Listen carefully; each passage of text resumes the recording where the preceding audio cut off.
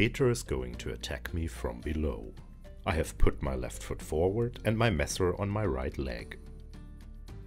Now I step into the attack and displace with the half displacement with my point below. Then I catch his messer with my left arm. And finally I let my messer go up and cut him through his face. Now, for safety reasons, I obviously don't cut Peter through his face in this presentation, but we're gonna get there later. To make this play work properly, it's essential to catch the incoming attack low, so you don't get any problems wrapping your arm around it from above. Also, I feel more comfortable not only catching the messer as the text suggests, but also catch the attacker's arm or hand, just to have a bit more control and make sure they don't get away that easily.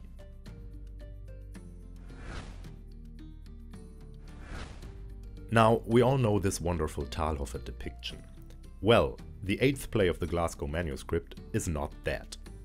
As you can Peter see doing in this wonderful textbook application of the Talhoffer thing, it goes against an incoming attack from above, while the eighth Messer play of the Glasgow Fechtbuch goes against an attack from below.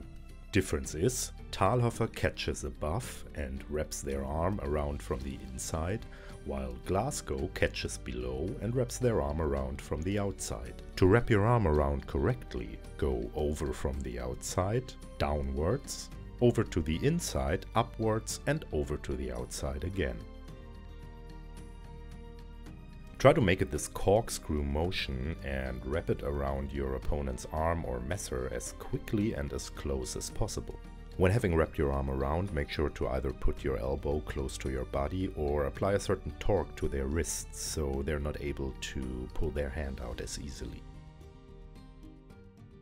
Also, make sure not to get your messer tangled up with their messer while wrapping your arm, or you might get into trouble finishing up the technique. Catch your opponent's messer below, bring it to a full or semi-stop and then guide it under your arm to go in for the catch. This might take a try or two to get the movement pattern figured out correctly, but once you've done it, it will become a natural thing quite quickly, as you can see. Now, as a wrap-up, it's not the Talhoffer. Start from the outside, go over, under and over again, play it either close to your own body or apply a certain torque to your opponent's wrist, and try not to get your own messer tangled up.